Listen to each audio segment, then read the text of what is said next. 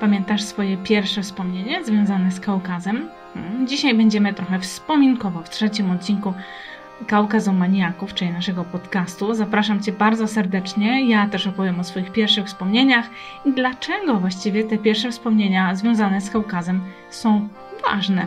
Hmm, dzisiaj wspominkowo. To co? Zaczynamy. Zapraszam.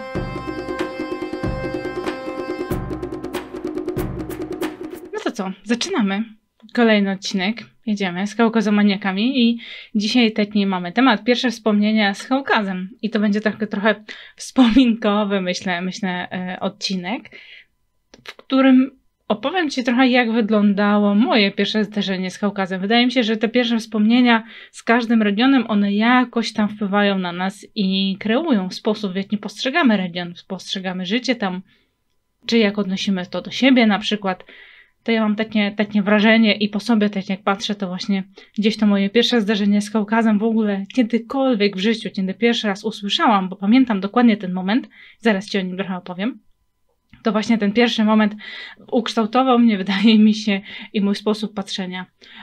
Jak ten Kaukaz wygląda, jak wygląda mój Kaukaz, bo mam wrażenie, że każdy z nas ma swój Kaukaz i ty zapewne masz e, inny Kaukaz trochę niż mój, ponieważ każdy z nas ma inne doświadczenia, poznał, e, czy poznała innych ludzi, inne, w innym czasie e, też pierwszy raz tam przyjechaliśmy, więc myślę, myślę że to albo zobaczyliśmy pierwszy raz, więc myślę, że to wpływa właśnie na sposób, jak postrzegamy trochę ten region. I też e, wpływa to też na to, w jaki sposób myślimy sobie, jakby gdzie może serce mocniej bije, albo po prostu dłużej, że tak powiem, bije właśnie w kierunku jakiegoś kraju albo regionu bardziej, bo tam coś się wydarzyło, albo to był pierwszy kraj, na przykład, z którym się spotkaliśmy na Kaukazie, a ten drugi był zawsze tym drugim, a ten trzeci był zawsze tym trzecim, nie pierwszym.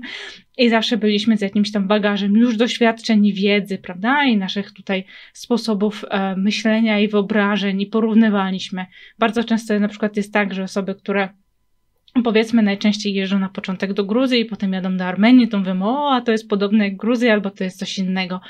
I e, no, różne są reakcje ze strony Ormian, tak, czy, czy w Azerbejdżanie na przykład to samo, i jak jedziemy na Kaukaz Północny i porównujemy go z południowym, jak byliśmy wcześniej na południowym, to, to podobnie, czy jak w ogóle zajmujemy się mm, takim regionem, czy go oglądamy gdzieś na przykład, jak oglądaliśmy chociażby e, wydarzenia z Soczi jakiś czas temu, jak były takie e, popularne, prawda, różne, różne rzeczy tam się działy.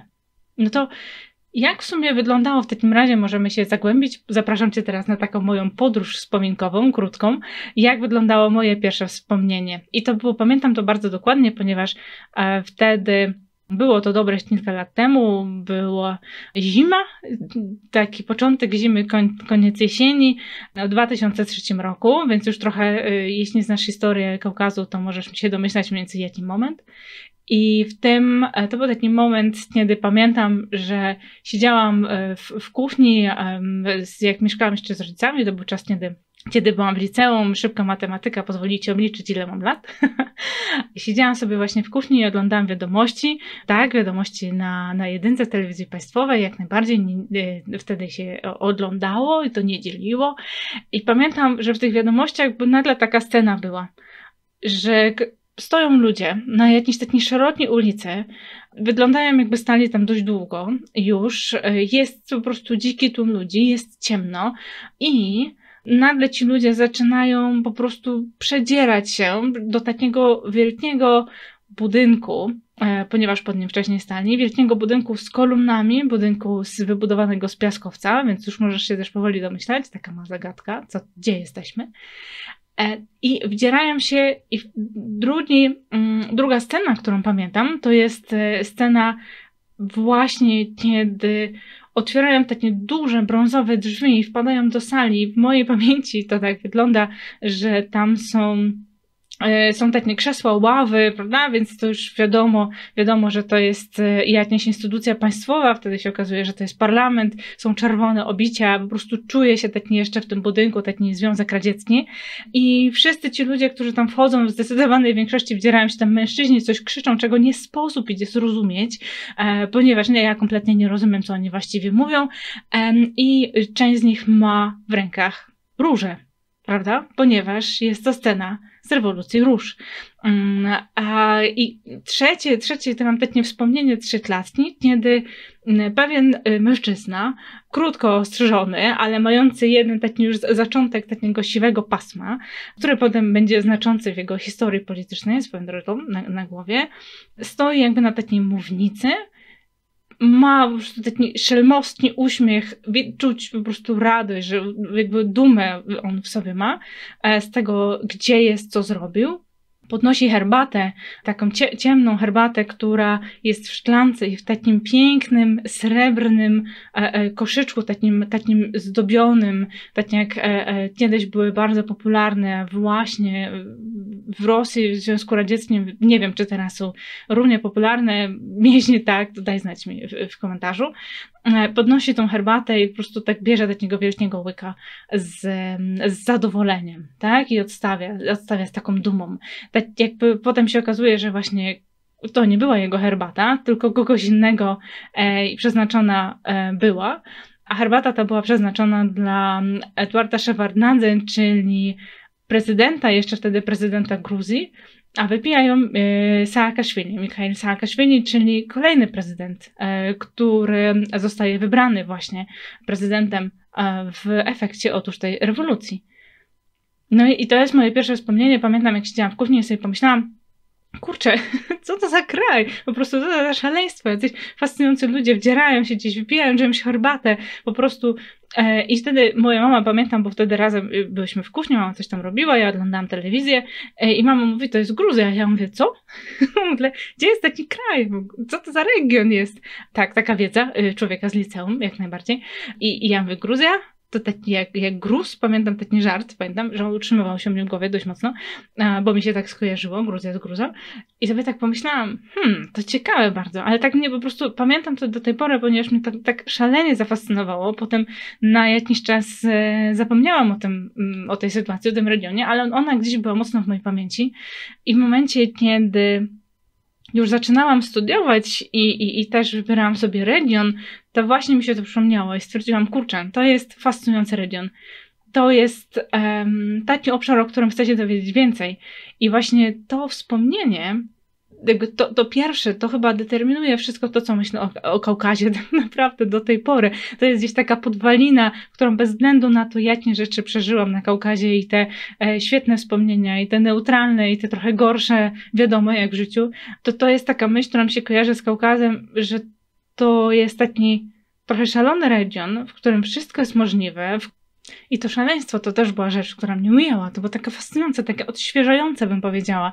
E, I ta ciągła zmiana. I to były takie elementy, które, które sprawiły, że moja Gruzja wyglądała w ten sposób. I tym samym mam wrażenie, że chociaż wiele lat minęło od tamtego czasu i wiele mm, jakby mojej wiedzy się nadbudowało, już wiem dokładnie, gdzie jest ten region e, i jestem w stanie to wytłumaczyć praktycznie każdemu z każdego e, zakątka świata, e, gdzie leży Kaukaz przetestowałam nawet y, z Ameryki Południowej ludziom, tłumacząc, gdzie jest Kaukaz, to właśnie ten, ten, ten mój Kaukaz to jest to, to, to szaleństwo, ta ciągła zmiana, to poczucie, że wszystko jest możliwe i, i myślę, że każdy z nas ma jakieś takie, takie wspomnienie, które, które mu towarzyszy Zachęcam Cię do tego, żeby się może zastanowić. W sumie, taki, a co, ja lubię takie różne ćwiczenia ludziom dawać, taki, taki mój urok e, trochę nauczyciela, szkoleniowca, w momencie, kiedy, kiedy sobie e, e, rozmawiamy na jakiś temat, to może Ty też się zastanów, jak wygląda właściwie Twoje pierwsze wspomnienie. Daj znać w komentarzu, jeśli masz ochotę się podzielić, albo napisz mi mail,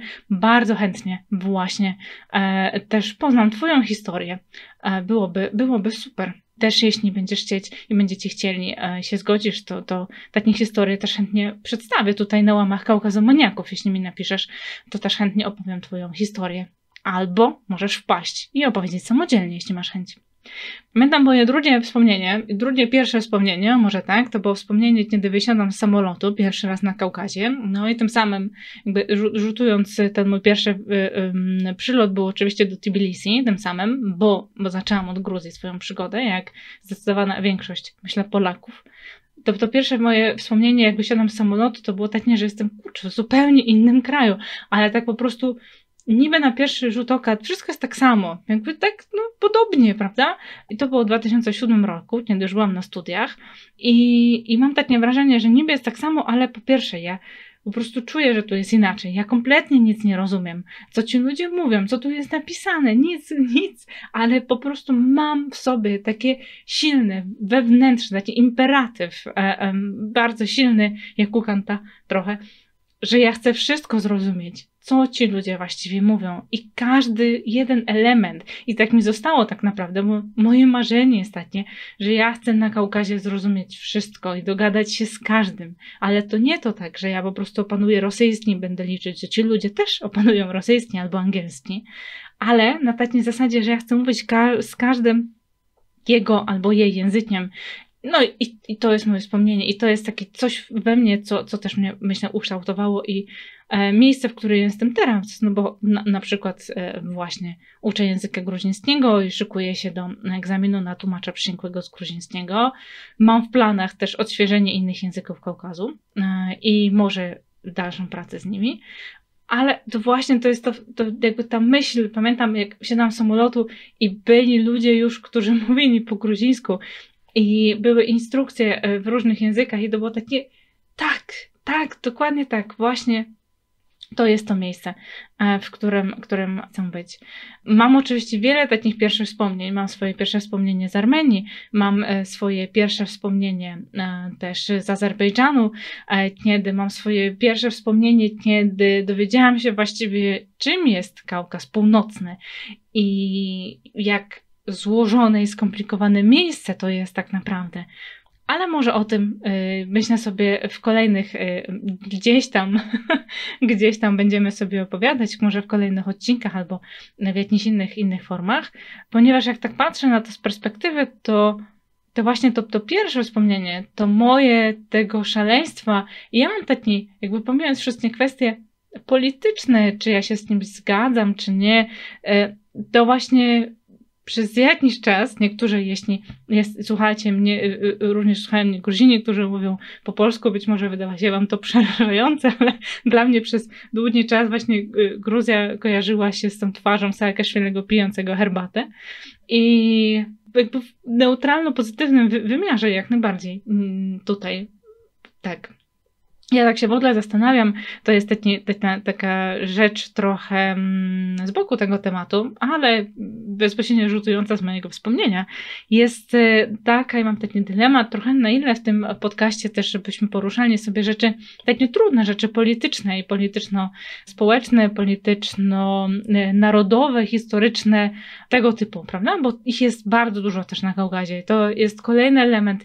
Ja uwielbiam jakby rozplątywać poplą, poplątane sznurki. Dla mnie Kaukaz jest fascynującym miejscem, w którym jest po prostu tak dużo różnych elementów, które się przenikają i ta myśl, że kiedyś w każdej dolinie praktycznie ludzie mówili trochę inaczej i mieli trochę inny sposób patrzenia na świat i w inny sposób y, żyli i tak dalej. No wiadomo, nie jakoś diametralnie, tak, że, że nagle y, ktoś tutaj nie mieszka w jaskini, jak y, ktoś mieszka w wieżowcu, prawda, no w jakiejś tam skali, ale ale te, te, różnice, te różnice były i te różnice nadal się, wydaje mi się, że się, się, się czuje, jak patrzy się na cały region. E, to jest dla mnie po prostu fascynujące. Nawet z samej Gruzji, ponieważ e, nawet możemy sobie na to spojrzeć, wydaje nam się, że jest język gruziński, mm, ale jak ja na przykład e, uczę uczymy się wymawiać niektóre słowa, bo wiadomo, że w języku gruzińskim, tak jak w każdym innym języku, tak naprawdę na Kaukazie są e, chociażby litery, których nie ma w języku polskim czy językach tutaj innych indoeuropejskich, to ja zawsze mówię, że pamiętajcie, że w Gruzji mm, w każdym regionie też mają trochę inny akcent, trochę mówią inaczej, wymawiają niektóre rzeczy bardziej miękko, bardziej twardo, a e, trochę inaczej brzmią te słowa i ludzie nawzajem słyszą, kto z jakiego regionu pochodzi, więc to jest też jakby ten, ten, ten ta myśl właśnie, to jest ta ciągła zmiana, prawda? Jakby za każdym razem, jakby za każdą górą jest coś nowego i to jest e, szalenie fascynujące. To jest takie moje mm, wspomnienie chyba największe. To daj, daj znać w komentarzu albo napisz mi mail e, właśnie jak, czy jakąkolwiek inną wiadomość na Facebooku czy na Instagramie, jak jakie jest twoje pierwsze wspomnienie z Kaukazem? Ono nie musi być pierwszym wspomnieniem, kiedy byłaś, byłeś już w tym regionie, ale właśnie tak jak u mnie, po prostu pierwsze zderzenie, prawda? Pierwsza taka myśl, że że, że ten region jest i on może być jakiś, jakiś. Ciekawa jestem, na ile ten jakiś to był na przykład taki fascynujący dla mnie, albo, albo właśnie w jakimś innym, innym wymiarze. Tak. No to co, tym optymistycznym akcentem, było trochę wspominkowo, e, trochę inny odcinek. Ten, ten, ten nasz, ten nasz e, trzeci odcinek trochę inny, ale mam nadzieję, że, że jakby to by się podobał tak samo jak mi, bo ja miałam taką swoją podróż, podróż w czasie, e, taki powrót do przyszłości, trochę bez samochodu, tak jak w filmie. E, I, e, I co, będziemy sobie kończyć na dzisiaj. To bardzo Ci dziękuję za te wspólne kilkanaście minut spędzonych razem na, na słuchaniu i mam nadzieję na rozmawianiu również po tym odcinku. Bardzo liczę na, na, na kontakt od Ciebie i informacje jak tam sobie patrzysz właśnie na Kaukaz. No a co w kolejnym odcinku? No bo to nie koniec, prawda? Jeszcze sezon nam się nie kończy, jeszcze trochę odcinków przed nami. Sporo dzisiaj mówiłam o tym też, że wydaje mi się, że właśnie Kaukaz równa się Gruzja i pomyślałam sobie, że to może jest taki temat, który warto się trochę pochylić. Zastanawiałam się nad tym i mam dla Ciebie kilka moich wniosków. Dlaczego Kaukaz w Polsce równa się właśnie Gruzja? Albo najczęściej dla większości osób mimo wszystko równa się właśnie Gruzja. Jest to nasz pierwszy przystanek Polaków właśnie w tym regionie. To zapraszam Cię do słuchania kolejnego odcinka. A na dzisiaj dzięki wielkie i do usłyszenia. Pa, pa!